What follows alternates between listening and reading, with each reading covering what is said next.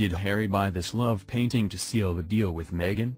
He said it was a gift for someone special and she was revealed as his girlfriend days later. He may have a reputation as a brave warrior prince, but he is also known for being unafraid to reveal his deepest emotions. And now it's believed that besotted Prince Harry has signaled to girlfriend Meghan Markle that she is his special person by spending thousands on a painting for her called Everybody Needs Somebody to Love. The modern piece by rising British artist Van Donna was picked up by the Prince, 32, during a visit to London Gallery Walton Fine Arts. It is in two parts, called a diptych.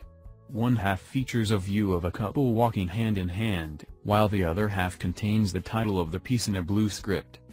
A red version sold at Christie's last year for £3,000. It is not known for certain whether the acrylic, stencil and spray piece was bought for 35-year-old Meghan, or as a gift for someone else. But the pair had started their romance by the time of the purchase last October, even if his burgeoning relationship with the American actress was still not public knowledge. Rumors had been awash about the pair all through last summer and they were finally confirmed as a couple at the end of October. The couple were pictured together for the first time the following February.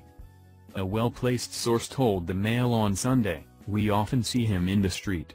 One day he popped in, to the gallery, with his bodyguard and said he was looking for something for an important person in his life.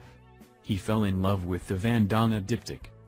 After paying for it, he said, do you think I could split them up, keep one for myself and give the other to the important person? A few days later, he was photographed with Meghan and we realized who the special person was. If the painting was a gift, it will do nothing to quell growing speculation that an engagement is imminent.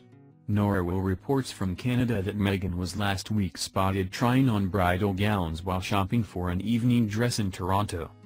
Harry is currently preparing to take part in his first state visit, and will host the King and Queen of Spain next week.